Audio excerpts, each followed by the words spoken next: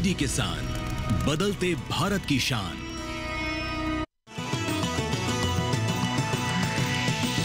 DD किसान बदलते भारत की शान।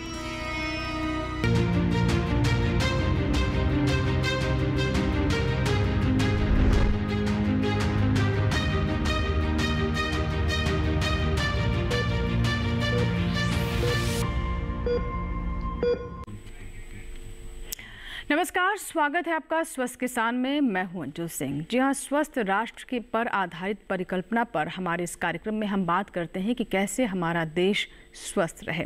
आज के कार्यक्रम में हम बहुत ही महत्वपूर्ण विषय लेकर आए हैं। जी हाँ आज हम बात करने वाले हैं एम पॉक्स जिसे हम मंकी पॉक्स के नाम से भी जानते हैं। विदेशों में इसके कई केस आए हैं और इसको लेकर डब्ल्यू काफ़ी गंभीर है। इसीलिए बहुत आवश्यक हो जाता है कि हमारे देश में अभी से हम सतर्क हो जाएँ। यहाँ आपको ये भी बता दें कि लगातार इसको लेकर विश्व स्तर पर सावधानियाँ बरती जा रही हैं, क्योंकि इस बीमारी के चलते मौतें भी हुई हैं। अगर इसके संक्रमण की बात करें तो इसका संक्रमण काफ़ी तेज़ी से फैलता है, इसके घाव से फैलता है और इसे काफ़ी हद तक कहा जाता है कि चिकन पॉक्स जैसे ही इसके लक्षण होते हैं, उसी तरह की बीमारी होती है, लेकिन उससे कम घातक है। फिर भी ऐसे में सावधानी बरतना बहुत आवश्यक है। वहीं अगर हम बचाव की बात करें तो मास्क पहनकर अगर आप रखेंगे तो भी काफ़ी हद तक आपका बचाव होगा। इसके साथ ही जो गर्भवती महिलाएँ हैं, उन्हें विशेष ध्यान रखने की आवश्यकता है। तो आज हम इसी विषय पर चर्चा करेंगे कि मंकी पॉक्स क्या है, क्यों हमारे देश में अभी से ही इसको लेकर अवेयरनेस फैलाने की आवश्यकता महसूस की जा रही है, और इसके लक्षण को कैसे पहचाना जाए? लक्षण आने की स्थिति ना आए, इसीलिए बचाव क्या होने चाहिए, इस पर भी आज हम विस्तार से चर्चा करेंगे। आपके सवालों का हमें इंतज़ार रहेगा। सबसे पहले आइए नज़र डालते हैं आज के विषय पर। इस विषय को बेहतर तरीके से समझते हैं और फिर लेंगे आपके सवाल और उसके लिए आपको बताएँगे हमारा टोल फ्री नंबर तो आइए नज़र डालते हैं आज के विषय पर, जो है मंकी पॉक्स एम पॉक्स जिसे आप जानते हैं, कारण, लक्षण और उपचार। तो विषय के बारे में आप जान चुके हैं और अगर आप संपर्क करना चाहते हैं, इस बीमारी के बारे में कुछ जानना चाहते हैं तो आप हमें हमारे टोल फ्री नंबर पर कॉल कर सकते हैं। हमारा टोल फ्री नंबर आप नोट कर लें, एक आठ शून्य शून्य, एक एक तीन शून्य छः शून्य। दूसरा नंबर भी देखिए, एक आठ शून्य शून्य, एक एक तीन शून्य छः एक टोल फ्री है, यानी इन पर आपका कोई शुल्क नहीं लगेगा। तो बहुत आवश्यक है सतर्क रहने की, सावधान रहने की, क्योंकि अक्सर जब हम बीमारियों के संदर्भ में बात करते हैं तो यही लाइन हमारे जहन में आती है कि precaution is better than cure यानी सावधानी इलाज से बेहतर है। इसीलिए इस बीमारी से जुड़े हुए कोई भी सवाल है कोई भी आशंका है तो ज़रूर आप हमें कॉल करें और आपके सवालों के जवाब देने के लिए हमारे साथ दो विशेष मेहमान हैं जो कि अगले एक घंटे तक हमारे साथ रहेंगे और आपकी आशंकाओं के आपके सवालों के जवाब देंगे और, और इस विषय को लेकर आपको जागरूक करेंगे। तो आइए हम सबसे पहले स्वागत करते हैं डॉक्टर बी के त्रिपाठी जी का। सर बहुत बहुत स्वागत है आपका कार्यक्रम में। और आप प्रोफेसर हैं कंसल्टेंट हैं मेडिसिन विभाग सफदरजंग अस्पताल दिल्ली में और आज का जो हमारा विषय है, उसके बारे में बताएँगे कि किस तरह की अप्रोच इसको लेकर पूरे विश्व स्तर पर अपनाई जा रही है और हमारे देश में हमें क्या करना होगा ताकि ये हमारे यहाँ सेंध न मार पाए। तो सर, स्वागत है एक बार फिर से। हमारे साथ डॉक्टर मोहित माथुर जी हैं, प्रोफेसर मेडिसिन विभाग, नेहरी, Nehru homeopathy medical college and hospital, New Delhi. Sir, आपका भी बहुत बहुत स्वागत है कार्यक्रम में। तो हम होम्योपैथी की अप्रोच क्या है उसको भी समझने का आज प्रयास करेंगे स्वस्थ किसान में। तो बहुत बहुत स्वागत दोनों मेहमानों का। और आइए अब कार्यक्रम की शुरुआत के साथ ही सबसे पहले नज़र डालते हैं आज की उस रिपोर्ट पर, जो कि हमें एम पॉक्स यानी मंकी पॉक्स को और बारीकी से समझने में मदद करेगी।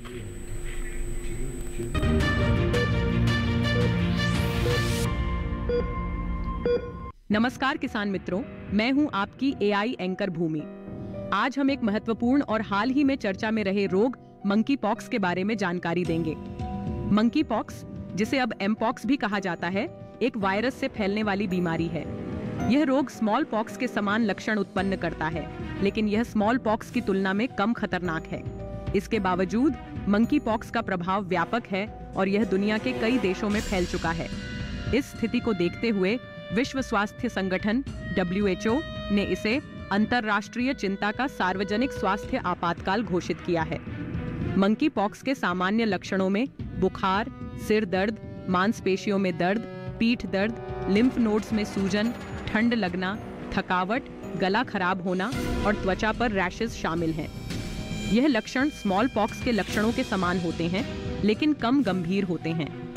गर्भवती महिलाओं को इस बीमारी से विशेष सावधानी बरतनी चाहिए, क्योंकि अगर माँ को मंकी पॉक्स हो जाता है तो यह गर्भ में पल रहे बच्चे तक भी फैल सकता है। इससे बचाव के लिए कुछ सरल उपाय किए जा सकते हैं। मास्क पहने, घावों को ढकें, हाथों को बार बार धोएँ और लोगों से कम संपर्क में रहें। ये कदम आपके और आपके परिवार के स्वास्थ्य को सुरक्षित रखने में मदद करेंगे। नमस्कार, मैं हूँ कृष अब हम मंकी पॉक्स के इलाज और संभावित जटिलताओं के बारे में जानेंगे। मंकी पॉक्स आमतौर पर दो से चार हफ्तों में ठीक हो जाता है। इसके इलाज में रैश को देखभाल में रखना, दर्द को मैनेज करना, जटिलताओं को रोकना और एंटीवायरल दवाओं का उपयोग शामिल है।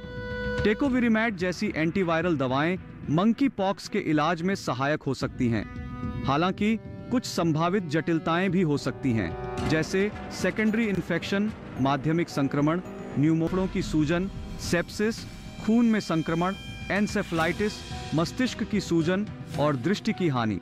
इसीलिए, अगर आपको मंकी पॉक्स के लक्षण महसूस होते हैं तो तुरंत चिकित्सा सहायता प्राप्त करें और नियमित जाँच कराएँ।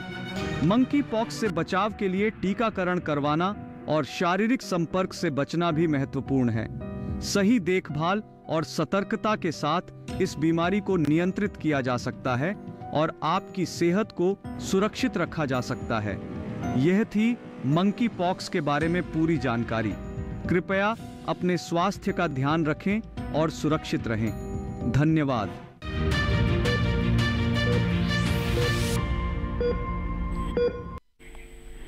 तो ये थे हमारे anchor A AI anchor Bhumi और ए आई एंकर कृष, जिन्होंने मंकी पॉक्स के बारे में इतनी महत्वपूर्ण जानकारी आप तक सरल तरीके से पहुंचाई।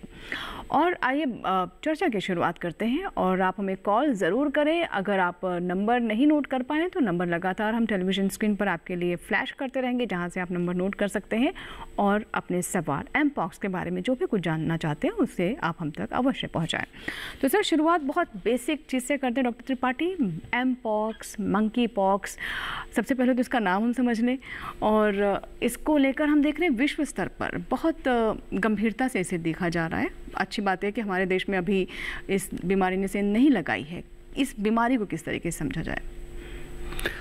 धन्यवाद अंजू जी। आपने बहुत रेलेवेंट क्वेश्चन उठाया कि एम पॉक्स और मंकी पॉक्स में डिफरेंस क्या है। मैं आपको शुरू में ही बताना चाहता हूँ कि ये बीमारी विश्व स्तर पे कोई नई नहीं है। पिछले 20 30 40 सालों से ये बीमारी जो है अफ्रीका के बहुत सारे देशों में जैसे कॉन्गो या नाइजीरिया में हुआ करती थी। अब ये विश्व के दूसरे कंट्रीज़ में यहाँ तक कि यूरोप में और अमेरिका में भी फैल चुकी है। ये अच्छी बात है कि अभी तक ये हमारे कंट्री में नहीं आई है और हम लोग पूरी तरह से इसके रोकथाम की हम्म। पूरा व्यवस्था कर रहे हैं। एम पॉक्स इसका नया नाम है। पहले इसको मंकी पॉक्स कहते थे क्योंकि ये बंदरों में अक्सर देखा गया था। विद डब्ल्यू ने एक डिसीज़न लिया था कि कोई भी बीमारी का नाम हम किसी जात या एनिमल या किसी कंट्री या किसी जगह के नाम से नहीं रखेंगे। हम्म, हम्म। उसके बाद से मंकी पॉक्स का नाम एम पॉक्स कर दिया है। इसमें दो ही डिफरेंस नहीं है। मंकी हम्म, पॉक्स वही है जो एम पॉक्स आजकल हम लोग करेक्ट नाम से जान जानते हैं। जी जी। तो ये मैं आपको बताना चाहता हूँ अच्छी बात है कि हमारे कंट्री में अभी नहीं आई है।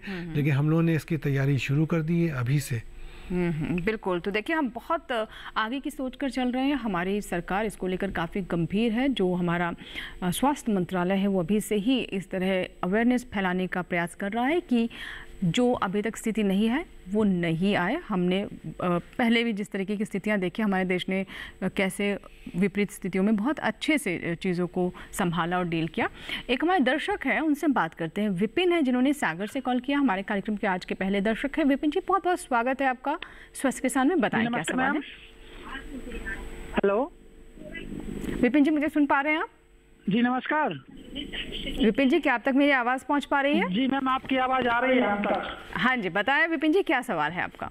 जी मैम मेरे दो सवाल है। पहला सवाल में ये था कि मंकी पॉक्स को लेके जो आज आपका कार्यक्रम आ रहा है काफ़ी अच्छा लग रहा है। सवाल ये था मैम कि क्या भारत में अभी इतने केसेस मिल रहे हैं या फिर इतना गंभीरता से लेने की आवश्यकता है? अगर विशेष तौर पर अपने यहाँ की बात की जाए और हम्म। क्या सिर्फ़ अपडेट रहना ही आवश्यक है या फिर कुछ सावधानियाँ भी बरतनी चाहिए? और यही मुझे जानना था मैम। जी जी बहुत अच्छा सवाल है आपका विपिन जी। तो आपने पहले पहला सवाल तो उनका ये था कि इस विषय को लेकर हम इतने गंभीर क्यों, जब कोई केस है नहीं, जैसा कि हमने बातचीत की। और दूसरा ये कि सावधानी कैसे बरतें, सर? ये अच्छी बात है कि ये एम पॉक्स हमारे देश में अभी तक नहीं आया है लेकिन जैसे आपने पहले भी देखा आपका पास्ट एक्सपीरियंस है कि बहुत सारे इन्फेक्शन जो विश्व स्तर पे फैलते हैं वो वो भारत में आ ही जाते हैं और हम लोगों को पहले से इसकी तैयारी करनी चाहिए। दूसरा आपका प्रश्न था ये फैलता कैसे है? मुझे याद दिलाना होगा जो लोग फिफ्टीज़ और सिक्सटीज़ में थे अपनी आयु के हिसाब से उन्होंने स्मॉल पॉक्स या बड़ी मात्रा चेचक देखा होगा। एक तरह से समझ लीजिए एम पॉक्स उसका छोटा भाई है। वायरस जो इन्फेक्शन है वो थोड़ा डिफरेंट है लेकिन उसका मैनिफेस्टेशन उसके लक्षण वगैरह सब काफ़ी कुछ हद तक स्मॉल पॉक्स से ही मिलते जुलते हैं। इसमें जैसे शुरुआत ऐसी होती है गला खराब होना बुखार आना बॉडी में दर्द होना और पूरे शरीर में खास तौर से मुँह के आसपास और प्राइवेट पार्ट्स में रैशेस निकलते हैं जो कि काफ़ी इचिंग होती है खुजली वाले होते हैं कई बार पेनफुल भी होते वगैरह हैं। में बताते हैं सर हो जाता हाँ। है हम्म। तो ज़्यादातर ये ये बीमारी जो है ये फैलती है आस आसपास के कंटेमिनेशन से टच के आने में। इसके अलावा जो बॉडी फ्लूइड्स होते हैं सलाइवा या और बॉडी फ्लूइड्स होते हैं उनके एक दूसरे से टच करने से फैलते हैं।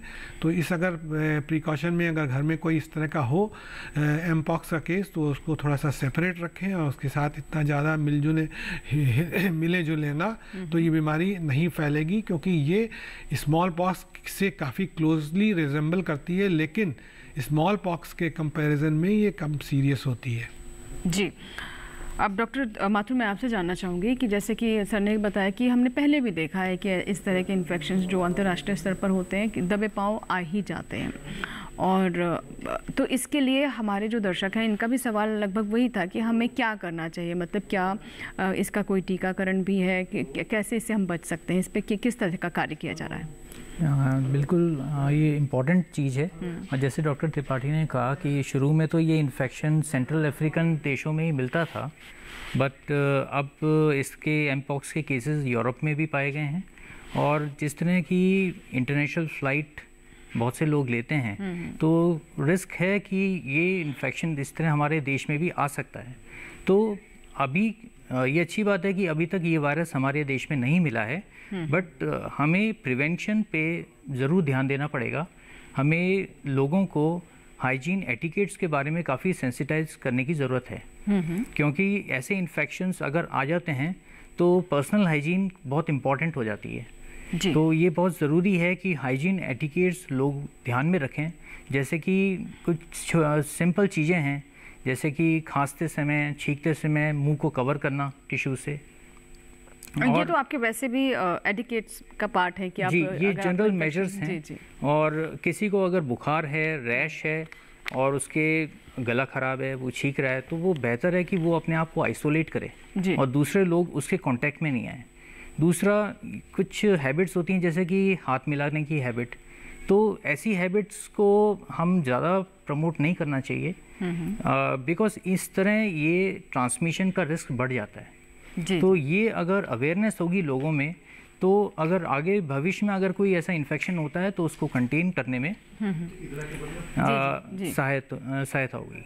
जी जी, बिल्कुल बिल्कुल। सही बताया आपने सर कि हम बहुत सारे, अब अब देखिए कोई सीमाएँ नहीं रह गई हैं। सैकड़ों इंटरनेशनल फ़्लाइट्स रोज़ उड़ती हैं तो ऐसे में बहुत आवश्यक है कि कम से कम वो लोग जो बाहर जाते हैं, उन्हें बाहर जाते हुए भी ध्यान रखने की आवश्यकता है और जब वो देश आए तो सर मुझे लगता है पहले भी हमने देखा है कि किस तरीके से ऐसे इन्फेक्शन हमारे देश में आए तो उन लोगों के लिए भी कोई सलाह रहेगी आपकी तरफ़ से? प्रिवेंशन का तो मैंने भी बातचीत किया डॉक्टर माथुर ने भी बताया कि थोड़ा आप जो पेशेंट इस तरह का है जिसमें ज़रा सा भी सस्पेशन है उससे आप मिले जुले ना और उसको थोड़ा सा आइसोलेट करें अलग करें उसको और उसके बारे में जब लैब इन्वेस्टिगेशन से कंफर्म हो जाए तो उसका ट्रीटमेंट वगैरह शुरू करेंगे। एक जी एक कॉलर है रशीदा है जिन्होंने मध्य प्रदेश से हमें कॉल किया है। जी रशीदा जी स्वागत है आपका। स्वस्थ किसान में बताइए क्या सवाल है? रशीदा जी मुझे सुन पा रहे हैं आप? जी हाँ। हाँ बताएँ क्या सवाल है?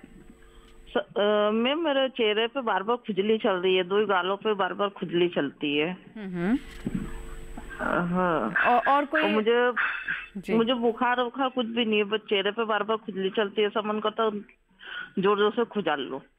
जी। डॉक्टर माथुर क्या हो सकता है? ये किसी तरह का इन्फेक्शन हो सकता है? जैसे उन्होंने बताया मुझे बुखार नहीं है तो क्या ये जो हम मानसून में देख रहे हैं मॉइस्चर बहुत है ये कोई त्वचा संबंधी समस्या हो सकती है या फिर शायद आज के विषय से जोड़कर भी पूछना चाहते हैं? हाँ, मैं इनसे एक, एक पूछना चाहूँगा क्या इनके चेहरे पे कोई निशान है? कोई लाल या ऐसा कोई निशान है? फ़ोन कट गया सर उनका। तो जिस तरह के लक्षण इन्होंने बताया कि इनको चेहरे पे काफ़ी खुजली चलती है उसको देख के लगता है और जैसे बारिश का मौसम है तो फंगल इन्फेक्शन के इंसिडेंट्स काफ़ी ज़्यादा हैं। जी। तो जिस तरह के लक्षण ये बता रही हैं उसे चांसेस हैं कि इनको फंगल इन्फेक्शन है और उसका उपचार हो सकता है। जी। ठीक है? जी जी। तो इन्हें किसी विशेषज्ञ से एक बार पहले मिल लेना चाहिए? डेफिनेटली ये जनरल फिजिशियन के पास भी जा सकते हैं और इसका वो एग्जामिन करके उसको ढंग से उसको अ, उसको एग्जामिन करके उसका ट्रीटमेंट शुरू कर देंगे। इस बात की चांसेस कम है कि ये बीमारी हाँ, एम पॉक्स mpox, है um, क्योंकि एम पॉक्स में रैशेज होना ज़रूरी है और इन्होंने अभी बताया नहीं कि इनके चेहरे पे खुजली होने हाँ, की बार-बार तो खुजली के लिए बेस्ट ये है कि आप स्किन स्पेशलिस्ट से कंसल्ट कर लें और कुछ इन्वेस्टिगेशन कराए जाएँगे जिससे कन्फर्म हो जाएगा कि ये सीरियस बात है या ऑर्डिनरी है मौसम की वजह से है। जी। एक कॉलर है नंद स्वरूप जी हमारे साथ है फ़ोन लाइन पर उत्तर प्रदेश के बाराबंकी से। नंद स्वरूप जी स्वागत है आपका स्वस्थ किसान में। बताइए क्या सवाल है हाँ, नमस्कार सर मेरा नाम नंद स्वरूप मिश्रा है बाराबंकी से। बताएँ। हाँ मैं जानना ये चाहता हूँ जो मंकी पार्क है इसके लिए बचाव के लिए जैसे दो मीटर की दूरी मुँह में मास्क ज़रूरी चाहे जो हो मजबूरी तो ऐसी दशा में जो सावधानियाँ बरतेंगे इससे कितना लाभ मिलेगा? और दूसरी चीज़ जैसे जो मच्छर होते हैं वो मच्छर एक दूसरे से काट करके दूसरे तक पहुंचाते हैं तो इनकी भूमिका कैसी रहेगी? और तीसरी जो जो भीड़ भड़क्का होती है तो उसके बीच में किसी को खांसी आ रही किसी को जुकाम हो गया तो उससे हम दूरी कैसे बनाए जिससे इस बीमारी से हम बचे रहें? जी। डॉक्टर माथुर आप इस पे कुछ कहना चाहेंगे? हाँ इन्होंने काफ़ी मेजर्स वैसे ही बता दिए हैं। तो ये बिल्कुल ठीक बात है। शुरू में तो ये मंकी पॉक्स एनिमल से जैसे मंकीज़ या रैट्स या डॉग से हुआ बट अब ह्यूमन टू ह्यूमन ट्रांसमिशन का भी पॉसिबिलिटी है। तो इसमें ये बिल्कुल ज़रूरी है कि जिसको ऐसे लक्षण आ रहे हैं जैसे कि खांसी जुकाम गला खराब है बुखार है और चकत्ते हो रहे हैं शरीर पे निशान हो रहे हैं वो अपने आप को आइसोलेट करे और दूसरे उससे दूरी बना के रखें। जी। अगर कोई छींक रहा है तो ज़रूरी है कि वो अपने मुँह को नाक को कवर करे। जी डॉक्टर त्रिपाठी आप क्या कहना चाहेंगे? जैसे इनका अगला सवाल था इसी से जोड़कर जो उन्होंने कहा था कि क्या अभी हम जानते हैं कि मच्छर काफ़ी हो गए हैं इस वक्त नहीं पर। ये बीमारी मच्छर से नहीं मच्छर के काटने से भी क्या होती है सबसे ज़्यादा महत्वपूर्ण बात यह है कि जो रैशेज होते हैं चकत्ते होते हैं उनसे जो सिक्रीशंस होते हैं डिस्चार्जेस होते हैं वो अगर टच करते हैं दूसरे स्वस्थ आदमी को तो उसमें फैलने के मैक्सिमम चांस अब जो इन इन मुझे लगता है जैसे अब कोविड के टाइम पर हम कहते थे कि इतनी दूरी बनाकर रखें तो क्योंकि वो सांस से फैलने वाली बीमारी थी। तो इसमें भी क्या सर ऐसा कुछ है कि इसमें भी आपको इतनी दूरी बना के रखनी है आपको क्वारंटीन रहना है? मुझे लगता है उसी से जोड़कर देख रहे हैं सांस से फैल तो सकती है लेकिन जैसे मैंने अभी बताया कि सबसे ज़्यादा चांसेस होते हैं सिक्रीशन जो डिस्चार्जेस होते हैं उन चकत्तों से और रैशेज से उससे होता है। तो उसको अगर आप गलती से टच भी हो जाए आपके बॉडी में या आप अपने किसी नियर एंड डियर की नर्सिंग कर रहे हैं तो इमीडिएटली आप उसकी सफ़ाई रखें साबुन से हाथ धोएँ तो ये बीमारी आपके लगने का नहीं है आप मेरे ख्याल में हमारे कई वृद्ध लोग जो हैं जिन्होंने स्मॉल पॉक्स देखा है अपनी लाइफ में अब। तो 1977 से स्मॉल पॉक्स नहीं हो रहा है तो जो यंग लोग हैं उन्होंने तो कभी सुना भी नहीं होगा स्मॉल पॉक्स के आज क्योंकि इरेडिकेट हो चुका है। लेकिन उनसे ऊपर की उम्र के लोगों ने स्मॉल पॉक्स अपनी लाइफ में ज़रूर देखा होगा। उसमें भी हम लोग यही प्रिकॉशंस रखते थे। हम्म बिल्कुल। एक कॉलर है मोनिका जी हैं जिन्होंने हमें कॉल किया। आइए मोनिका जी का सवाल लेते हैं। जी मोनिका जी? अ, सागर से ही है मोनिका जी भी। हेलो जी हाँ सागर से बात कर रहे हैं। जी जी बताइए सवाल। आ, ऐसे मोनिका जी आपकी आवाज़ नहीं आ रही है और अगर आपने टेलीविज़न को वॉल्यूम पर किया है तो कृपया आप हाँ, म्यूट मैं कर दें। पूछ रही हूँ मेरी लड़की को भी है ना खुजली होती है और फुंसी होती है छोटी छोटी सी।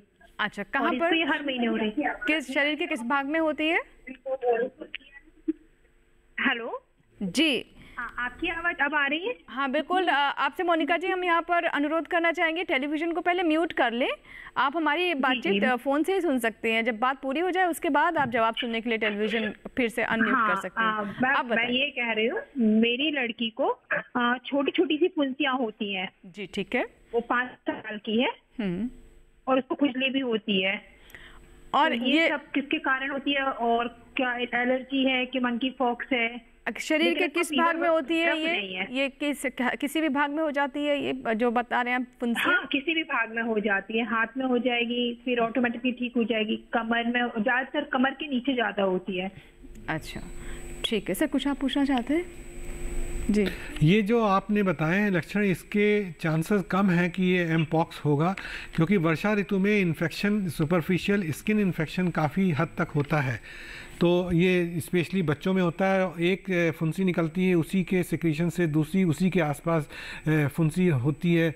तो इसके चांसेस कम हैं कि ये एमपॉक्स है, ये हो सकता है बैक्टीरियल इन्फेक्शन हो और जो बड़ी आसानी से ट्रीट किया जा सकता है। इसमें आपको किसी डॉक्टर से सलाह लेनी है, वो आपको हो सकता है एंटीबायोटिक दें और लोकल लगाने के लिए भी कोई एंटीसेप्टिक क्रीम वगैरह दें तो ये मेरे ख्याल में तीन, चार, पाँच दिन में बिल्कुल ठीक हो जाएगा। लेकिन सबसे ज़्यादा वही वाली बात है कि सफ़ाई सुथराई जो एक बार हो चुकी है फुंसी उसको अच्छी तरह से धोएँ साबुन से धोएँ। तो और यहाँ पर हम दर्शकों को ये भी बताना चाहेंगे कि देखिए हमारा मकसद ये नहीं है कि आप घबरा जाएँ या फिर कोई ऐसे आपको लक्षण दिखाई दे रहे हैं त्वचा संबंधी तो आप उसे सीधा मंकी पॉक्स एम पॉक्स से जोड़ करके देखें। ये सिर्फ़ आपको अवेयर करने के लिए, आपको जागरूक करने के लिए एक हमारा प्रयास है कि जो स्थितियाँ दूसरे देशों में हैं, वो हमारे देश में ना आए।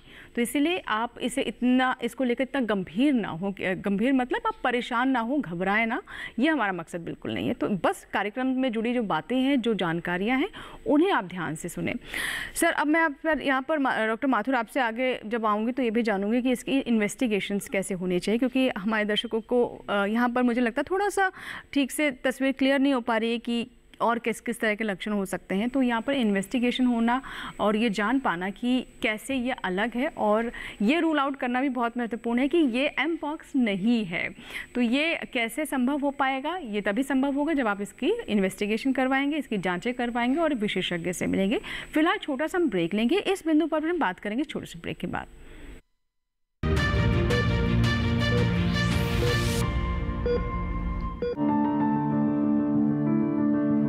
फ़सल में कीट लगा हो या कोई बीमारी पशुपालन में हो कोई दिक्कत या चाहिए कोई जानकारी फ़ोन उठाएँ नंबर मिलाएँ और कहें हेलो किसान। हेलो किसान। हेलो किसान। हेलो किसान सोमवार बुधवार और शुक्रवार शाम 6 से 7 बजे सिर्फ़ डीडी किसान पर।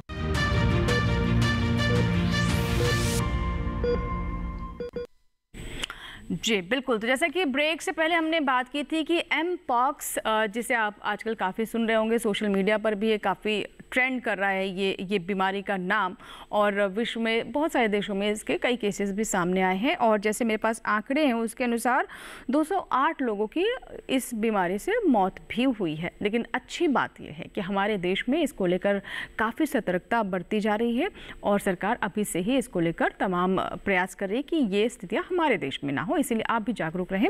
तो सर, अब आपसे मैं जानना चाहूँगी कि जैसे अभी कुछ दर्शकों के कॉल आए और वो फोड़े, फुंसी रैशेज उस जो भी किसी भी तरह की त्वचा संबंधी समस्या हो रही है, उसे वो एम पॉक्स से जोड़ करके देख रहे हैं। तो सबसे पहले बताएँ कि अगर ऐसे कोई भी समस्या आती है जिसका हमने ज़िक्र किया, क्योंकि मिलते जुलते हैं, कोई भी त्वचा संबंधी समस्या होती है तो होता है खुजली करते हैं रैशेज हो जाते हैं। तो इसकी इन्वेस्टिगेशन यानी जाँचें क्या हैं, कैसे इसे सही दिशा में इसका इलाज हो जो भी समस्या हमारे दर्शकों को अगर किसी तरह की होती है। जी सर। डॉक्टर मैं देखूँगा पहले तो आ, ये ये फैक्ट बताना ज़रूरी है जो सर ने भी बताया कि अभी तक इसका केस भारत में हिंदुस्तान में ये हम बार बार कह रहे हैं नहीं हुआ है। हाँ। तो जो भी लोग ये कह रहे हैं कि मेरे फोड़ा या फुंसी हो गई क्या ये एम्पॉक्स है तो अभी क्योंकि केस डिटेक्ट नहीं हुए हैं तो ये संभावना इस तरह नहीं लगाई जा सकती ये एम्पॉक्स है। दूसरा एम्पॉक्स के सिम्टम यही होते हैं कि बुखार हो गया और चकत्ते हो गए। चकत्ते काफ़ी संख्या में हो सकते हैं पूरे शरीर को इन्वॉल्व कर लेते हैं। लेकिन वो हाथ पैरों में हथेलियों पे तलवों पे इन पे और प्राइवेट पार्ट्स पे इन पे ज़्यादा होते हैं। और चकत्ते काफ़ी डीप होते हैं। इनमें पस भी बन सकता है। प्लस मरीज़ के कुछ गिल्टियाँ भी डेवलप हो सकती है। और गला खराब होना पेनलेस गिल्टियाँ होती हैं सर इनमें पेन होता है। ये अगर इन्फेक्शन हो गया सुपरेटेड इन्फेक्शन तो वो दर्द भी कर सकता है। और उसके साथ उसको बदन दर्द गला खराब सर दर्द ऐसे लक्षण आते हैं। लेकिन प्रोमिनेंट लक्षण है बुखार चकत्ते होना जो कि काफ़ी डीप हैं उनमें पस पड़ जाना। और हाथ हथेलियों पे तलवों पे इन पे चकत्ते ज़्यादा हो सकते हैं और गिल्टियाँ हो जाना। तो इस टाइप के लक्षण अगर आते हैं तो ही हम सस्पेक्ट कर सकते हैं। डॉक्टर त्रिपाठी जांचें किस किस तरह की होंगी इसमें? इसको जाँच करने के लिए स्पेसिफिक लैब इन्वेस्टिगेशन हम लोग करते हैं। जो रैशेज होते हैं उनमें से सिक्रीशंस हम लोग स्वाब स्टिक से कलेक्ट करते हैं। और उसको फिर हम लोग एक इन्वेस्टिगेशन होता है जिसे हम लोग पीसीआर कहते हैं। पॉलीमरेज चेन रिएक्शन उसमें देखते हैं कि वायरस उसमें ग्रो कर रहा है कि नहीं। ये बहुत स्पेसिफिक टेस्ट है और ये कन्फर्मेटरी टेस्ट है। अगर आपको पीसीआर में ये वायरस दिख रहा है तो कन्फर्म हो जाता है हंड्रेड परसेंट कि ये आपका एमपॉक्स का ही केस है। इसके अलावा ब्लड टेस्ट में एंटीबॉडीज़ टेस्ट करते हैं आईजीएम एंटीबॉडी देखते हैं जिससे ये बताता है कि ये रिसेंट इन्फेक्शन है एमपॉक्स का। तो ये दो बड़े इंपॉर्टेंट इन्वेस्टिगेशन हैं जो स्पेसिफिकली आपको बताएँगे कि ये बीमारी जो है एमपॉक्स है या नहीं। इसके साथ मैं एक चीज़ और बताना चाहता हूँ कि एमपॉक्स जो है एक्यूट ऑनसेट इलनेस है। जैसे एक दो दर्शक लोगों ने कहा कि पिछले दो महीने से फुंसियाँ निकल रही हैं या पिछले दो साल से खुजली हो रही है ये चीज़ एमपॉक्स नहीं हो सकती है। एमपॉक्स हमेशा दो या चार पाँच दिन की चीज़ होती है। उसका इंक्यूबेशन पीरियड जो होता है तीन से पाँच दिन या सात दिन तक होता है। अगर इन्फेक्शन आप में एमपॉक्स का आया है तो उसके मैनिफेस्टेशन इमीडिएटली जैसा हम लोगों ने अभी अभी डिस्कस किया है, वो सब होंगे रैशेज वगैरह होंगे।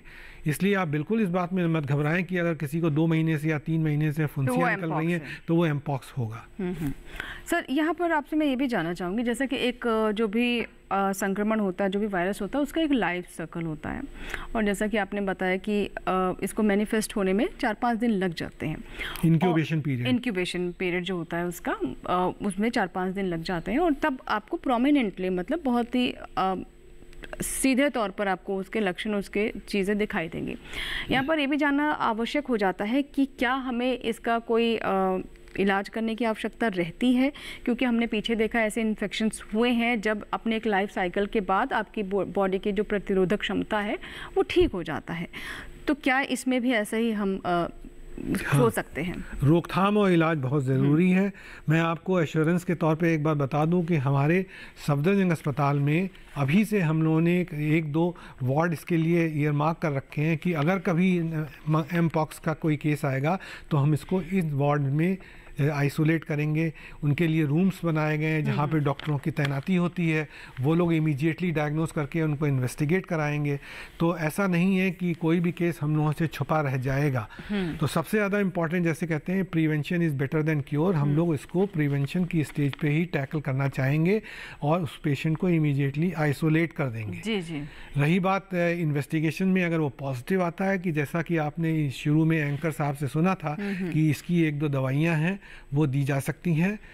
और प्रिवेंशन के लिए वैक्सीन वगैरह भी दिए जाते हैं लेकिन वैक्सीन आजकल जनरल पब्लिक को नहीं दी जा रही है। सिर्फ़ एक सर्टेन ग्रुप हैं जिनमें इसकी वनरेबिलिटी ज़्यादा होती है जो ज़्यादा चांसेस हैं कि उनको ये इन्फेक्शन हो सकता है। उसमें ये वैक्सीन दी तो सर क्या इसका टीकाकरण अभी है हमारे देश में? क्या ये हो रहा है? अगर कोई अपनी ही इच्छा से इसका टीका लगवाना चाहता है तो क्या है ये व्यवस्था भी इसकी आवश्यकता है? इसके लिए अलग से टीका नहीं है। जो स्मॉल पॉक्स वैक्सीनेशन था वही हम लोग देते हैं। लेकिन जैसे मैंने बताया ना कि हर जनरल पब्लिक को ये टीका रिकमेंडेड नहीं है और ना ही आपको बाज़ार में मिलेगा। जो स्मॉल पॉक्स का जो टीका है वो दुनिया की बहुत लिमिटेड लैब्स में ही अवेलेबल है। अगर उसको रिज़र्व में रखा गया है अगर ये बीमारी फैलेगी तो हम लोग उसका प्रोडक्शन बढ़ाएँगे और अलग अलग जगहों पे बांटेंगे उसको। ठीक है एक कॉलर है सर देवांश है देवांश राजपूत जिन्होंने मध्य प्रदेश में कॉल किया है। जी देवांश जी बताएँ क्या सवाल है आपका? हेलो। जी आप सुन पा रहे हैं मुझे देवांश जी? हेलो हाँ जी बताइए क्या सवाल है बेटा आपका? आ, हमारे लिए बॉडी टाइप होते हैं। जी? और बार बार बुखार लौट के आता है। एक बार फिर से बताइए सवाल। हमारे शरीर में फोड़े टाइप के हो जाते हैं एकदम से और फीवर आ जाता और आवाज़ बहुत ज़्यादा दब जाती। ठीक है आपकी उम्र कितनी है ये बताएँ? इलेवन इलेवन ईयर्स चलिए ये पहले ये तो बहुत बधाई आपको दिवान जी कि इतने जागरूक हैं हमारे बच्चे कि खुद कॉल करके पूछ रहे हैं कि अगर ऐसे सिम्टम्स हैं तो क्या करना चाहिए। वेरी गुड तो सर जैसे बता रहे हैं कि इनको फुंसियाँ हैं और फिर बुखार भी आ जाता है और फिर अचानक से बढ़ जाता है। दिवांश 11 साल के बच्चे हैं ये। क्या बताना चाहेंगे तो जिस तरह ये बता रहे हैं कि इनको फुंसियाँ फोड़े फुंसी हो जाता है। मोस्ट प्रोबेबली इनको बैक्टीरियल इन्फेक्शंस हो रहे हैं और रिकरेंट बैक्टीरियल इन्फेक्शन हो रहा है उसकी वजह से ये फोड़े फुंसी हो रहे हैं। और इस केस में हमें ये भी देखना होगा पर्सनल हाइजीन क्योंकि बच्चे हैं तो पर्सनल हाइजीन कितनी रखते हैं ये?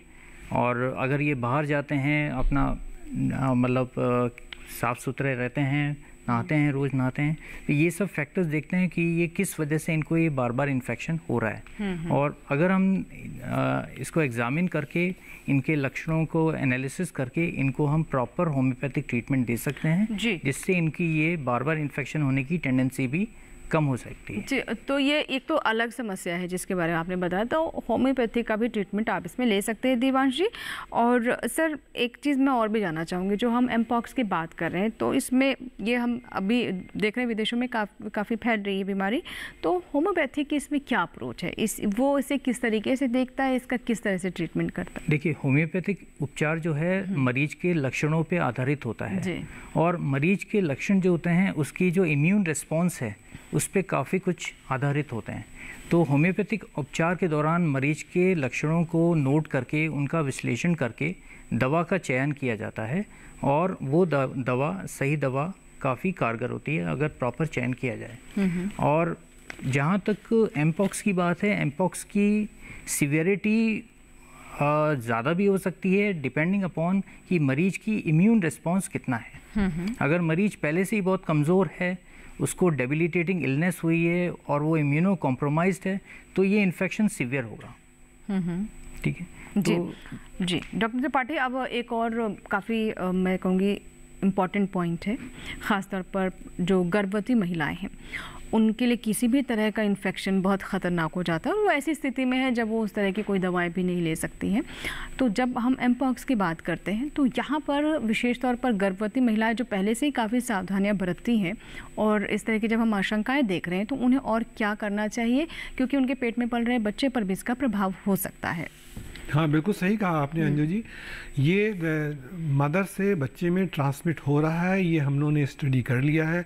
पूरी दुनिया में नाइजीरिया कंट्री में चार केसेस ऐसे हुए हैं जिसमें प्रेग्नेंट वुमेन जिनको ये इन्फेक्शन एमपॉक्स का हुआ उनमें से बच्चों में ट्रांसफ़र हुआ उनमें से दो का तो एबॉर्शन हुआ एक स्टिल बर्थ हुई और एक नॉन बर्थ बच्चा हुआ। लेकिन अगर गर्भवती महिला को या इस बात का सस्पिशन हो या उसके घर के आसपास, मोहल्ले में आसपास इस बीमारी का कोई केस हो तो उसको फ़ौरन आप हटा लीजिए वहाँ से। क्योंकि अगर ये बीमारी उस गर्भवती महिला की होगी तो बच्चे को ख़राब होने के चांसेस ज़्यादा हैं। जी अब यहाँ पर मैं बच्चों पर आना चाहूँगी और डॉक्टर माथुर, अभी हमने पीछे देखा कि अभी भी कुछ केसेस आ रहे हैं फुट एंड माउथ जो बच्चों में हमने देखा कि काफ़ी ज़्यादा और उसमें भी ऐसे कि छोटे छोटे आपके छाले पड़ जाते हैं मुँह के अंदर, हथेलियों पर, यहाँ पर फैल जाते हैं। तो ऐसे में बच्चे भी काफ़ी संक्रमण के प्रति हम जानते हैं कि बहुत आसानी से उसकी जद में आ जाते हैं। और इस तरह का इन्फेक्शन पहले हमारे देश में चल रहा है बच्चों में जो हम देखते हैं कि अक्सर इस- मौसम में आ ही जाता है। इसके बारे में क्या कहना चाहेंगे? हाँ, जो आप जो इन्फेक्शन की बात कर रहे हैं वो hand foot and mouth disease के बारे में बात कर रहे हैं उसमें भी बिल्कुल रैशेज आते हैं। और जैसे कि डिज़ीज़ का नाम है मुँह के अंदर छाले पड़ जाना और हाथों में और पैरों में रैशेज डेवलप हो जाता है। हालाँकि एम पॉक्स से अगर आप कंपेयर करोगे तो ये रैशेज इतने डीप नहीं होते हैं और इन्फेक्शन इतना सीवियर नहीं होता है जितना कि एम पॉक्स है। एम पॉक्स कंपेरेटिवली थोड़ा सीवियर इन्फेक्शन है और जो रैशेज हैं ज़्यादा मिलते हैं एम पॉक्स में। जी। और अ, अ, ये hand foot and mouth disease भी वायरल इन्फेक्शन ही है। ये अ, ये दोनों में समानता है कि इसका वायरस infection होता है। बट वायरस डिफरेंट होता है। जी जी। डॉक्टर त्रिपाठी ये जो समस्या है जो हम एम्पॉक्स की बात कर रहे हैं जब ये गंभीर होती तो ये गंभीरता किस स्तर तक जा सकती है? क्योंकि हमने जैसे कि रिपोर्ट में भी बताया कि 200 से ज़्यादा ऐसे केसेस रहे हैं जो कि जिनकी मृत्यु हो गई विदेश विदेशों में जो अलग अलग देशों में जो इन्फेक्शन फैला है। तो इसमें इसकी गंभीर स्थिति कब तक हो सकती कहाँ तक पहुँच सकती है? क्योंकि जो आपने बताया कि इसका लाइफ साइकिल ऐसा है जो अपना साइकिल पूरा करके अपने आप ख़त्म भी हो जाता है ये। जी हाँ बिल्कुल सही कहा आपने। नॉर्मली अगर किसी मरीज़ को ये संक्रमण इन्फेक्शन होता है तो तीन हफ़्ते, चार हफ़्ते में अपने आप ठीक हो जाता है। लेकिन जैसे आपने शुरू में एंकर की बात सुनी होगी, उन्होंने इसके कॉम्प्लिकेशंस गिनाए थे। एनकेफलाइटिस हो सकती है मेनिंजाइटिस हो सकती है लंग्स का इन्वॉलमेंट होगा तो फिर न्यूमोनाइटिस हो सकती है। इसी तरह से कई वाइटल ऑर्गन्स जो बॉडी के होते हैं, अगर आपकी प्रतिरोधक क्षमता इम्यूनिटी कम है तो ये इन्फेक्शन जो है ये वायरस जो है उन वाइटल ऑर्गन्स को हिट कर सकता है और उनका इन्फेक्शन और उनके कॉम्प्लिकेशन हो सकता है। तो अगर एक नॉर्मल हेल्दी आदमी है एडल्ट है तो उसमें इतने घबराने की बात नहीं है ये इन्फेक्शन अपने आप सेल्फ लिमिटिंग होगा अपने आप ठीक हो जाएगा। लेकिन हाँ extremes of ages young children या सिक्सटी सिक्सटी फाइव ईयर्स के बाद के वृद्ध लोग जो हैं उनमें इन्फेक्शन ज़्यादा फ्लेयर अप कर सकता है और ये कॉम्प्लिकेशंस भी हो सकते हैं। इन्हीं केसेस में हम लोग फिर इसका जो ट्रीटमेंट अवेलेबल है वो देते हैं। रूटीनली हम लोग इसको ट्रीट नहीं कर रहे हैं एंटी वायरल दवाओं से। जी शिरीष है एक और दर्शक जिन्होंने हमें मध्य प्रदेश से कॉल किया। और देखिए बहुत सारे कॉल्स आ रहे हैं आज हमारे पास इस विषय के बारे में लोग जानना चाहते हैं। तो शिरीष जी बताइए क्या सवाल है आपका? हेलो जी सुरेश जी बताएँ सवाल क्या है? जी ये बारी बारी फंसिया हो रही है और जलन होती है। फिर फिर से बताइए आपकी आवाज़ ठीक से नहीं आई? ये फंसी होती है पैरों में जैसे फुंसियाँ होती हैं आपको? हाँ। कहाँ पर? पैर में जलन होती है। पैरों के। पैरों पर होती है। तलवों में? तलवों में होती है पैरों के? नहीं नहीं पैरों में ऊपर ऊपर। घुटनों के ऊपर। ठीक हाँ। सर कुछ घुटने मतलब घुटनों से ऊपर होती है या हाँ, फिर हाँ पैरों के ऊपर से ऊपर ऊपर। कितने दिन से हो रही है? ये अभी पंद्रह बीस दिन थे उसमें पस भी निकलता है? हाँ उसमें से थोड़ा पूछ निकलता है। पानी भी निकलता है उसमें। हाँ जैसे मैंने बताया कि ये एम पॉक्स जो होता है, बहुत ही शॉर्ट ड्यूरेशन का होता है। यूजुअली दो तीन हफ़्ते से अगर फुंसी निकल रही हैं तो ये एम पॉक्स के चांसेस इसमें बहुत कम है। ये मोस्ट लाइकली जैसे डॉक्टर माथुर ने भी बताया, ये बैक्टीरियल इन्फेक्शन होगा और बैक्टीरियल इन्फेक्शन का इलाज बहुत ईजी है। तो मेरी एडवाइस यही है कि आप किसी स्किन स्पेशलिस्ट या किसी इंटरनल मेडिसिन स्पेशलिस्ट से मिलें और मुझे लगता है कि ये आराम से एंटीबायोटिक से ट्रीट किया जा सकता है। लेकिन साथ ही साथ उतना ही महत्वपूर्ण ये है कि आप सफ़ाई से साबुन वगैरह से धोते रहें दिन में दो या तीन बार और इसको आगे फैलने से रोकें। जी जी, बिल्कुल। तो देखिए, सावधानी किसी भी समस्या को लेकर हो, अच्छी ही रहती है। और क्योंकि अब मानसून का समय चल रहा है, बारिश है कई जगह पर, हम देखते हैं, सर, जल भराव भी हो जाता है। उससे भी हमारे कई लोगों के साथ हमने देखा है कि पैरों में ऐसे इन्फेक्शन होना, छाले होना, फुंसियाँ होना, ये आम बात हो जाती है। तो साफ़ सफ़ाई तो आपको अपने जीवन का हिस्सा ही बनाना बेहतर रहेगा। ये हम लगातार अपने अलग अलग कार्यक्रम के माध्यम से आपको बताते रहते हैं। अब सर सर, मैं आपसे, डॉक्टर माथुर, आपसे ये जानना चाहूँगी कि ये तो बात हुई कि आपको साफ़ सफ़ाई रखनी है। इसके अलावा अगर हम बात करें छोटे बच्चों की और बुज़ुर्गों की क्योंकि हमने पहले भी इसके बारे में डिस्कस किया कि उनकी इम्यूनिटी कम होती है प्रतिरोधक क्षमता कम रहती है। तो उनको लेकर हमें कितना सतर्क रहने की आवश्यकता है? हाँ ये बहुत इम्पोर्टेंट क्वेश्चन है बिकॉज़ ऐसे एक्सट्रीम्स ऑफ़ एज जैसे कि अभी सर ने बताया कि बहुत छोटे बच्चे और बहुत बुज़ुर्ग इनमें इम्यून रिस्पॉन्स वीक होता है। और जो बच्चे या तो इन्फेक्शन ऐसे हो गए जैसे कि मीज़ल्स हो गई या टाइफाइड हो गया जिससे काफ़ी कमज़ोर हो गए या वज़न कम हो गया तो ऐसे बच्चे की इम्यूनिटी कम होती है। अगर ये इन्फेक्शन का शिकार हो गए एमपॉक्स जैसे इन्फेक्शन उनको हो गया तो इलनेस काफ़ी सीवियर होती है। और इसी वजह से ऐसे केसेस को ऐसे लोगों को अ, दूर रहना चाहिए किसी भी सोर्स ऑफ़ इन्फेक्शन से। तो अगर उनके आसपास अगर किसी को बुखार है और रैशेज निकल रहे हैं चकत्ते हो रहे हैं और उसकी गल्टियाँ बन रही हैं वो खांस रहा है छींक रहा है तो ऐसे छोटे बच्चों को उनसे दूर करें और बहुत एल्डरली है वो भी ऐसे मरीजों से दूर रहना चाहिए। सो दैट प्रिवेंशन ही बेटर है। और ये अगर जानकारी होगी लोगों में तो लोग पहले प्रिकॉशन लेंगे। और ये बहुत ही इंपॉर्टेंट स्टेप है। जी जी। अब मैं डॉक्टर त्रिपाठी आपसे जानना चाहूँगी, जैसे कि ये तो बात हुई कि हमने उम्र के हिसाब से गर्भवती महिलाएँ हैं, बच्चे हैं, बुज़ुर्ग हैं, जो ज़्यादा जिनके साथ हमें सावधान रहने की आवश्यकता है, उसके बारे में हमने चर्चा की। अब मैं इस बीमारी के बारे में और जानकारी आपसे हासिल करूँ। उससे पहले कॉलर है, उनसे बात कर लेते हैं। हेलो हेलो अजित कुमार जी हैं, जिन्होंने शामली उत्तर प्रदेश से हमें कॉल किया है। अजय जी, बताइए, क्या सवाल है आपका? आप मुझे सुन पा रहे हैं? हेलो? अजीत जी सुन पा रहे हैं मुझे? सुन पा रहे हैं। हाँ बताइए अजित जी क्या सवाल है आपका? मैम समस्या ये है कि हमें एक मिनट। अच्छा म्यूट करो। बहुत अच्छी बात है अपने हाँ। आप आपने म्यूट कर दिया टेलीविज़न को। जी बताएँ। जी जी। मैम पहले तो नमस्कार मैं अजीत कुमार शामली यूपी से बिलोंग करता हूँ। जी स्वागत है आपका। हमारा क्या हुआ हेपेटाइटिस सी की समस्या थी और दो महीने का कोर्स पूरा हो चुका है गवर्नमेंट की तरफ़ से जो दवाइयाँ चलती हैं। हम्म हम्म। है ना? तो अभी क्या हो रहा है?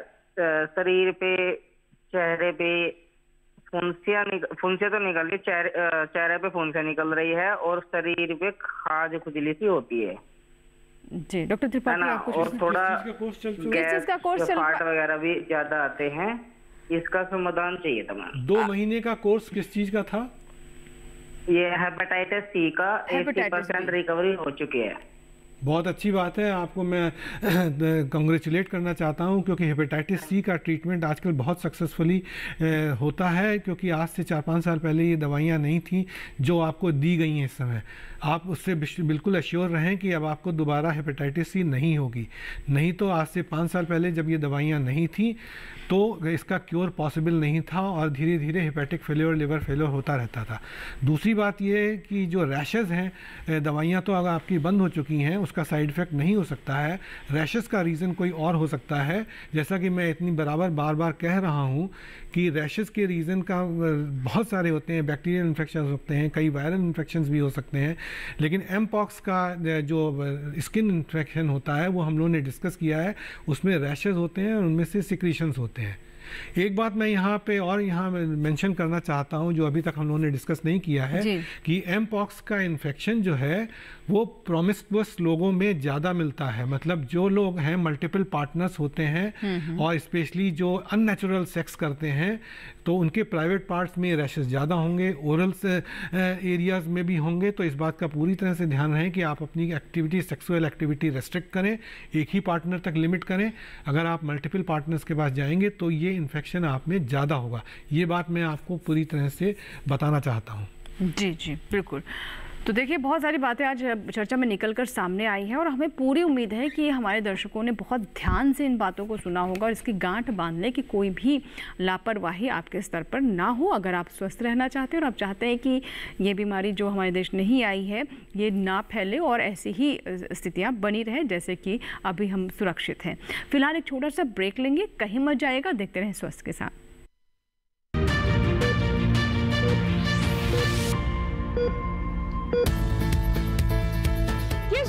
की क्या है चाल? किस मंडी का क्या है हाल? उतरते चढ़ते भाव का असर आयात निर्यात का क्या है असर? कैसा रहेगा आगे बाज़ार? बताएँगे मंडियों के जानकार। देखिए मंडी खबर। सोमवार से शनिवार शाम पाँच बजे। सिर्फ़ दूरदर्शन किसान चैनल पर।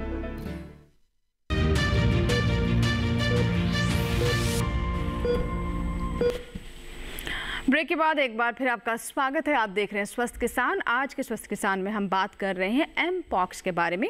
और एक बार फिर से मैं यहाँ पर दर्शकों से कहना चाहूँगी कि एम पॉक्स हमारे देश में नहीं है और इसीलिए बहुत ज़रूरत है कि हम जागरूक रहें। हम यहाँ पर आपको किसी तरह से ये बताने की कोशिश नहीं कर रहे हैं कि कितना ये ख़तरनाक है कितना घातक है, बल्कि हम आपको अवेयर कर रहे हैं, इसलिए घबराने की आवश्यकता नहीं है। चलिए, अब बातचीत को एक बार फिर से हम बढ़ाते हैं आगे। डॉक्टर त्रिपाठी, मैं आपसे यहाँ जाना चाहूँगी कि क्योंकि हम देखते हैं कि जब भी कोई इस तरह का इन्फेक्शन संक्रमण हमारे शरीर से होकर गुजरता है, हमारी हमारी शरीर की प्रतिरोधक क्षमता जो है, उसे रोकने की कोशिश करते हैं। एक शरीर के अंदर अपना युद्ध होता है। तो क्या इसके कोई लॉन्ग टर्म इम्पैक्ट भी हो जा, हो सकते हैं जब आप इसे रिकवर कर जाते हैं। ये अभी तक पूरी तरह से स्टडी नहीं किया गया है। ये इन्फेक्शन बॉडी में आता है तीन चार हफ़्ते में जो बॉडी की प्रतिरोधक क्षमता है उसको इसको टाइड ओवर कर लेती है ख़त्म कर देती है लेकिन उसके लॉन्ग टर्म सीक्वेंस क्या होंगे ये आगे चल के न अगले एक दो तीन साल में पता चलेगा। लेकिन अभी तक जो स्टडी किया गया है अफ्रीका के कॉन्टीनेंट में तो ये काफ़ी सालों से था तो उसमें ऐसा कुछ मिला नहीं है कि इसका लॉन्ग टर्म कोई एडवर्स रहेगा। जैसे कि आपने देखा होगा अभी तीन चार साल पहले कोविड कोविड इन्फेक्शन आया पूरे वर्ल्ड में आया। उस समय तक हम लोग को ये नहीं पता था कि इसके लॉन्ग टर्म कॉन्सिक्वेंसेज क्या होंगे। लेकिन अब धीरे धीरे हम स्टडी कर रहे हैं कि इसका जो कोविड इन्फेक्शन जो है वो लंग्स पे सबसे ज़्यादा असर छोड़ता है हार्ट पे भी छोड़ता है। तो उसकी स्टडी कर रहे हैं उसके एंटीडोट्स बना रहे हैं उसका ट्रीटमेंट बना रहे हैं। तो उसी तरह से जब ये इन्फेक्शन अगर आएगा वैसे तो हम लोगों को पूरी उम्मीद है कि इसको हम लोग दबा देंगे। लेकिन अगर आएगा तो उसका हमारे पास ट्रीटमेंट होगा और हम उसका इलाज करेंगे। एक बात मैं और यहाँ बताना चाहता हूँ कि जिन लोगों ने स्मॉल पॉक्स के पेशेंट्स देखे हैं ये उसी तरह का है उसके रैशेज या उसके फफोले छाले वगैरह उसी के तरह के होते हैं। लेकिन सबसे अच्छी बात यह है कि स्मॉल पॉक्स के कंपैरिजन में ये सीरियस कम है। कम है सीरियस कम है और इसका ट्रीटमेंट और इसका रिकवरी जो है उससे बेटर होगी। जी जी. डॉक्टर माथुर मैं आपसे जानना चाहूँगी देखिए जब हम ओवरऑल फिटनेस की बात करते हैं स्वास्थ्य की बात करते हैं तो वहाँ पर हम लाइफ को बहुत महत्व महत्व देते हैं। हमारा खान पान कैसा होना चाहिए इससे भी हम बहुत गंभीरता से लेते हैं, क्योंकि एक स्वस्थ शरीर जो है, वही किसी भी तरह की बीमारी से लड़ सकेगा। तो ये डायरेक्टली तो इससे जुड़ा नहीं है लेकिन फिर भी ओवरऑल हेल्थ के लिए और आप स्वस्थ रहें, कोई अगर आप में इन्फेक्शन आता है, संक्रमण आता भी है, ऐसी कोई स्थिति ना आए, हम यही कामना करेंगे। तो इसके लिए हमारे लाइफस्टाइल किस तरह की होनी चाहिए, हमारा खान पान कैसा होना चाहिए, व्यायाम कैसा होना चाहिए, कि हम मज़बूत रहें। ये बहुत इम्पोर्टेंट क्वेश्चन है और लाइफस्टाइल का बहुत बड़ा रोल है। जैसे कि हम देखें, हमने काफ़ी कॉलर्स बता रहे थे कि उनके अक्सर फोड़े फुंसी हो जाते हैं। मैं उसका एग्जांपल लूँगा बार बार हो जाते हैं। तो हमें ये देखना पड़ेगा कि कुछ ऐसी कंडीशन है जैसे डायबिटीज़ है। अगर डायबिटीज़ कंट्रोल में नहीं है अगर उसकी लाइफस्टाइल ऐसी है जिसकी वजह से लाइफ उसकी डायबिटीज़ कंट्रोल में नहीं आ रही तो ऐसा मरीज़ भी रिकरेंट इन्फेक्शन का शिकार होता है। जी जी। वो फोड़ रिकरेंट बार बार उसके फोड़े फुंसी होने की रिस्क बढ़ा रह बढ़ती है। और एक अनकंट्रोल डायबिटीज़ की वजह से रोग से लड़ने की क्षमता भी है मरीज़ की वो कम होती है। तो ऐसे मरीज़ को अगर कोई इन्फेक्शन होता है तो वो सीवियर होता है। तो ये बहुत ज़रूरी है कि प्रॉपर डाइट एक्सरसाइज ये इसका बहुत इंपॉर्टेंट रोल है हेल्थ में। और ऐसे इन्फेक्शन को काउंटर करने के लिए भी प्रॉपर लाइफस्टाइल एक हेल्दी लाइफस्टाइल बहुत ज़रूरी है। जी जी, बिल्कुल। तो ये देखिए, हर हर एक बीमारी की स्थिति में ये बहुत आवश्यक है कि आप स्वस्थ रहें, शरीर में आपके इन्फेक्शन आ ही ना, पहली बात तो ये। और अगर आता भी है तो आपका शरीर उससे लड़ने के लिए सक्षम हो। और ये तभी संभव है जब आप इन सभी बातों का ध्यान देंगे। अब एक कॉलर है, उनसे हम बात करते हैं। Hello hello hello Gurudas ji हमारे साथ राजस्थान से फ़ोन लाइन पर। गुरुदास जी मुझे सुन पा रहे हैं आप? हेलो सुन पा रहा हूँ मैडम। हाँ बताएँ क्या सवाल है गुरुदास जी आपका? खांसी जुकाम और बुखार है। है। सर्दी जुकाम और बुखार है। खांसी जुकाम और आपकी आपकी बात हम समझ नहीं पा रहे हैं पूरी बात। सर्दी जुकाम और बुखार आप ये बता रहे हैं? खांसी जुकाम और बुखार सिर दर्द है। सिर दर्द भी है। ठीक है सर सर्दी जुकाम बुखार जो कि इस बीमारी के भी कुछ लक्षण हैं तो मुझे लगता है कि उसी से जोड़कर इसे देख रहे हैं। और हम जानते भी कि अभी बहुत फीवर भी चल रहा है वायरल इन्फेक्शन भी चल रहे हैं। क्या बताना चाहेंगे? हम तो जिस तरह के लक्षण ये बता रहे हैं ये सीजनल डेफिनेटली वायरल इन्फेक्शन हो सकता है जिसका इलाज सिम्टोमेटिकली हम कर सकते हैं। और जैसे कि इनको सर्दी जुकाम बुखार है तो ये ज़रूरी है कि ये थोड़ा अपने आप को आइसोलेट करें। सो दैट दूसरों को इन्फेक्शन नहीं फैले। और अपने हाथ भी समय समय पर धोते रहें। प्लस इनके लक्षणों के आधार पे इनको प्रॉपर होम्योपैथिक ट्रीटमेंट दिया जा सकता है, जिससे इनकी रिकवरी फास्ट होएगी। तो एक होम्योपैथिक चिकित्सा अगर चिकित्सक से अगर ये सलाह लेते हैं तो इनका इलाज संभव है और बहुत जल्दी ही इनको इन्फेक्शन से ठीक किया जा सकता है। जी डॉक्टर त्रिपाठी आप भी कुछ बताना चाहेंगे इन्हें? हाँ बिल्कुल सही कहा डॉक्टर माथुर ने। ये तो आपके फेथ की बात है। अगर आप होम्योपैथी में फेथ रखते हैं तो होम्योपैथिक इलाज करिए उसका आराम से इलाज वहाँ संभव है। अगर आप एलोपैथिक इलाज करते हैं एलोपैथी में भी कुछ दवाइयाँ हैं ज़्यादातर सिम्टोमेटिक होती हैं क्योंकि ये सेल्फ लिमिटिंग डिज़ीज़ है। और तीन चार पाँच दिन में अपने आप ठीक हो जाती है। दवाओं से ये फ़ायदा होगा कि आपको जो सिम्टम्स हैं, वो कम हो जाएँगे सप्रेस हो जाएँगे। तो इसलिए आप ज़्यादा कंफर्टेबल फील करेंगे, ज़्यादा हैप्पी फील करेंगे। जी जी बिल्कुल। तो देखिए अब बहुत तरह की हमारे यहाँ पद्धतियाँ हैं। आयुर्वेद है एलोपैथी तो है ही और होम्योपैथी भी है और जिससे भी आपको लाभ हो जिससे फ़ायदा हो आप उस, उसे अपना सकते हैं। अब डॉक्टर त्रिपाठी मैं आपसे जानना चाहूँगी ओवरऑल अगर हम एक क्विक रिकैप करें और इसे हम एक होलिस्टिक तरीके से समझने की कोशिश करें इस पूरी बीमारी को इस समस्या को क्योंकि कार्यक्रम को समाप्त करने का समय है तो हमारे दर्शकों को क्या जाते जाते मैसेज देना चाहेंगे? मेरा मैसेज यही है कि ये एक नया इन्फेक्शन नहीं है। हम लोग के देश में नहीं आया है। हम लोग पूरी पूरी तैयारी कर रहे हैं। जैसे मैंने अपने अस्पताल का एग्ज़ाम्पल आपको दिया, सारे बड़े अस्पताल गवर्नमेंट में इसकी तैयारियाँ चल रही हैं। जैसे ही आएगा हमारे कंट्री में, हम लोग इसको दबा सकते हैं। साथ ही साथ इसकी वैक्सीन भी जो है स्मॉल पॉक्स वैक्सीन जो है, वो हम लोग इसको यूज़ कर सकते हैं, जिससे कि बाकी लोगों में ना फैले। ट्रीटमेंट भी इसके एक तो अवेलेबल है ही जैसा कि एंकर साहब ने शुरू में बताया था और भी ट्रीटमेंट हाँ। जी, जी। और भी ट्रीटमेंट अवेलेबल है तो कोई घबराने की बात नहीं है बस आपकी ज़िम्मेदारी यही बनती है कि अगर इस तरह का कोई पेशेंट आए तो उसको आइसोलेट करें अलग कंपनी में रखें और उससे अलग रहें। नर्सिंग करना तो आपके लिए ज़रूरी है आप उसको बिल्कुल छोड़ नहीं सकते लेकिन नर्सिंग करने के बाद अपना जो है उसके रोकथाम के लिए कपड़े वगैरह बदलें या हाथ पैर धोएँ नहाएँ धोएँ यही हो सकता है। जी। सर क्योंकि ये W H O world health organization भी इसको काफ़ी गंभीरता से ले रहा है और जब इस तरह की बीमारियाँ होती हैं, जब आप सरहदों से लांग कर ये बीमारी दूसरे देशों में जाती है तो उसका अपना एक प्रोटोकॉल भी रहता है। अब जैसे अगर किसी भी व्यक्ति में इसके सिम्टम्स दिखाई देते हैं। अगर उन्हें लगता है कि ये सिम्टम तो पहला उसका कदम क्या होना चाहिए? क्या इसकी जानकारी कहीं देनी चाहिए? क्या उसका फ़र्स्ट स्टेप होना चाहिए ताकि ये आगे ना बढ़े? जानकारी तो आप सिर्फ़ डॉक्टर के थ्रू जाएँगे कि सबसे पहले डॉक्टर जाएगा डॉक्टर आप सस्पेक्ट करेगा, अगर ये मैम पॉक्स की प्रॉब्लम है तो वो उसके टेस्ट करवाएगा ब्लड टेस्ट कराएगा स्किन पॉलीमरेज चेन रिएक्शन से टेस्ट करेगा। अगर ये पॉजिटिव आता है तो फिर वो जो है अपने हायर अथॉरिटीज़ को इन्फॉर्म करता है उस को आइसोलेट करता है न केवल आइसोलेट किया जाता है बल्कि ये देखा जाता है कि इसको इन्फेक्शन लगा कहाँ से?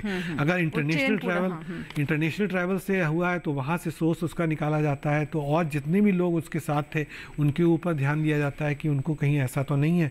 अभी इंटरनेशनल गाइडलाइंस इसकी पब्लिश नहीं हुई हैं तो एयर ट्रैवल वगैरह जो है बाहर जाना या बाहर से यहाँ आना उस पर कंट्रोल नहीं है लेकिन हाँ हम लोग वॉचफुल हैं। जी लेकिन सर मैं यहाँ पर एक बार फिर से मैं कहूँगी आप हमारे दर्शकों के लिए ही बता दें कि हम जब इसकी बात कर रहे हैं तो कई दर्शक इसे कहीं ना कहीं उन स्थितियों को रिवाइंड कर रहे हैं दिमाग में। जब हम कोविड में जब हमने कहा इंटरनेशनल फ्लाइट्स हैं आपको आइसोलेट हो जाना है प्रोटोकॉल फॉलो करना है तो एक बार हमारे दर्शकों को एक बार फिर से बता दें कि ये उस तरह की गंभीर उतना इन्फेक्शस नहीं है।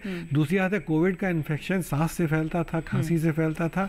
अगर आप जैसे कहा ना थोड़ी सी दूरी रखेंगे और लीजन्स जो हैं जो रैशेज हैं उनसे आप अवॉइड करेंगे या धोते रहेंगे हाथ वगैरह साबुन से तो ये इन्फेक्शन के चांसेस कम है। जी अनिल कुमार है एक दर्शक जिन्होंने हरियाणा से हमें फ़ोन लगाया है। अरुण जी आ, अनिल जी स्वागत है आपका स्वस्थ किसान में बताइए क्या सवाल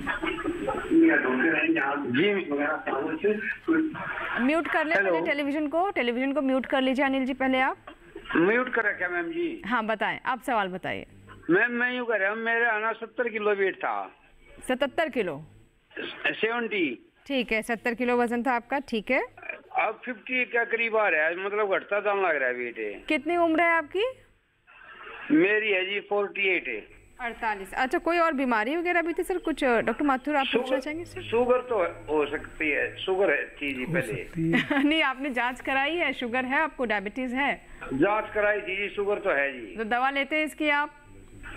ना जी दवाई एक थोड़े बहुत दिल्ली छोड़ दिया रुपये आ, आपने तो अपना जवाब खुद ही दे दिया। अनकंट्रोल डायबिटीज़ से तो जो है वज़न कम ही होगा। आप सबसे पहले इलाज कराइए अपने डायबिटीज़ का फिर आपका वज़न बिल्कुल नॉर्मल होने लगेगा। बिल्कुल बिल्कुल। देखिए माथुर साहब आपने भी कहा भी था कि अगर किसी भी बीमारी के लिए बहुत ज़रूरी है कि आप अगर आपको डायबिटीज़ है और हमारा देश तो कैपिटल में तब्दील हो गया इसे हम कहते हैं कि ये मधुमेह की कैपिटल बन चुका है हमारा देश। तो इसीलिए बहुत ज़रूरी है कि आप इसे बिल्कुल कंट्रोल रखें। आप क्या कहना चाहेंगे सर इसके बारे में? ये बिल्कुल ठीक बात है। इनको थोड़ा सेंसिटिव होना पड़ेगा अपनी डायबिटीज़ को लेके उसके मैनेजमेंट को लेके। ये बहुत से लोगों में इसमें वेट लॉस भी होता है? बिल्कुल अनकंट्रोल डायबिटीज़ में वेट लॉस होता है। लेकिन कई मरीज़ ऐसे होते हैं कि उनको वो इतना सीरियसली नहीं लेते हैं। तो ये ये ये बहुत ज़रूरी बात है कि मरीज़ अपने डायबिटीज़ को बड़ा सीरियसली ले और अपने खान पान और अपनी लाइफस्टाइल पे बहुत ध्यान दें। अगर ये प्रॉपर मैनेज करेंगे अपनी डायबिटीज़ को तो इस तरह का वेट लॉस इनको नहीं होगा और आगे फ्यूचर इन्फेक्शन से की रिस्क भी कम होगी। और सर ये तो एक बात हुई जिन्हें जिन जो इनको ऊपरी तौर पर पता चल रहा है कि इनका वेट लॉस हो रहा है इनका वज़न घट रहा है लेकिन जब आपकी अनकंट्रोल्ड डायबिटीज़ होती है तो इसका असर आपके हर एक अंग पर पड़ता है। लीवर है किडनी है हार्ट है। सर क्या कहना चाहेंगे? आँखें हैं। बिल्कुल आइस पे पड़ता है और बिल्कुल आपने सही सम, बताया कि इसका every organ almost every organ पे इसका असर पड़ता है। चाहे वो किडनीस हो चाहे वो हमारा रेटिना हो हमारे आइस हो। और बहुत से स्ट्रक्चर में जैसे कि हमारे आई का एग्ज़ाम्पल ले लीजिए शुरू में तो इतने लक्षण नहीं आएँगे तो मरीज़ शायद इतना गंभीर नहीं होता है। लेकिन जब उसको विजन में दिक्कत होगी और वो डॉक्टर के पास जाएगा तो हो सकता है कि वो काफ़ी एडवांस स्टेज हो। तो ऐसी स्थिति से बचने के लिए उसको चाहिए कि अपनी डायबिटीज़ को शुरू से ही कंट्रोल में करे। जी, बिल्कुल। तो देखिए, ये कुछ बातें हैं और हमने बाकी चीज़ों को भी यहाँ पे साथ में डिस्कस कर लिया क्योंकि आपका स्वस्थ रहना बहुत ज़रूरी है। आप स्वस्थ रहेंगे तो आप बीमारी आपको छू नहीं पाएगी। और ये थी जागरूकता से भरी हमारी आज की जो पूरी बातचीत थी, जिसमें हमने एम पॉक्स के बारे में आपको बताया। तो आप जागरूक रहें, सतर्क रहें। बहुत बहुत शुक्रिया डॉक्टर माथुर आपका भी और डॉक्टर त्रिपाठी जी आपका भी। बहुत ही विस्तार से बहुत ही सरल तरीके से आप हमारे दर्शकों को समझा पाए कि जागरूक रहना क्यों आवश्यक है। लेकिन चलते चलते एक बार फिर से हम कहेंगे कि आप जागरूक रहें, सतर्क रहें, लेकिन घबराएँ नहीं। एम पॉक्स हमारे देश में नहीं है और ये ना आए, ये आप पर ही निर्भर करता है। यहाँ आपको ये बता दें कि अगर आपके कोई सुझाव हैं, आप, आपको हमारा कार्यक्रम कैसा लगा, आप चाहते हैं किसी विषय पर हम स्वस्थ किसान लेकर आए तो आप अपने ये ये बात हम तक पहुँचा सकते हैं, ईमेल कर सकते हैं स्वस्थ किसान live at the rate gmail dot com ये हमारा ईमेल आईडी है, जिस पर आप अपना फीडबैक, अपनी राय, अपना सुझाव या फिर आप हम, हमें बता भी सकते हैं कि इस विषय पर हम कार्यक्रम लेकर आएँ। तो इसी के साथ ही यहाँ हम आपसे इजाज़त लेंगे और चलते चलते हमारी यही कामना है कि आप स्वस्थ रहें, मंगल रहें और दूरदर्शन किसान के साथ बने रहें। नमस्कार।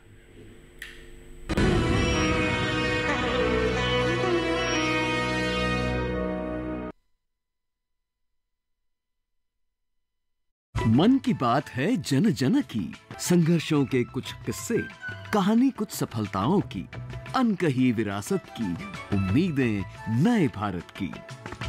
महीने के आखिरी रविवार का रहता है इंतज़ार। ब्रह्मपुत्र के घाट से